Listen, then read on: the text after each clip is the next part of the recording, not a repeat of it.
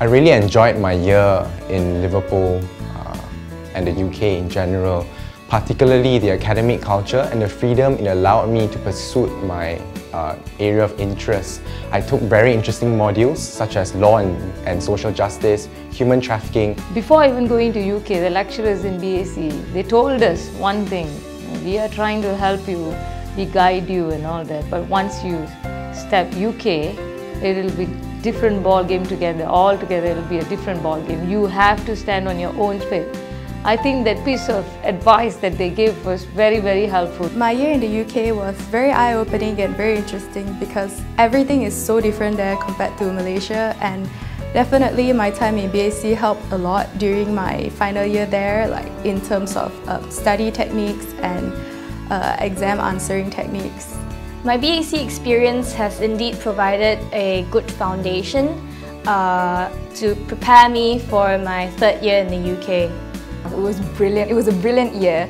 Um, BAC, like I said, had very friendly lecturers and uh, it was very helpful to have them as contacts even when we're in UK. So I would say that BAC is very um, useful in that way. The lecturers are very willing to still answer your questions even though you're in another university.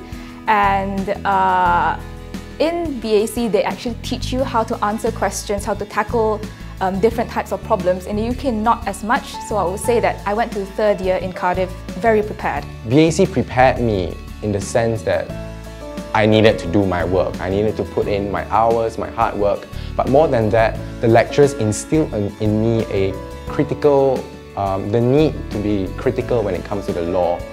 So in that sense, it really prepared me well for the UK. At this moment, I would like to mention Mr. Saravanan, who's teaching contract law. He taught us contract law.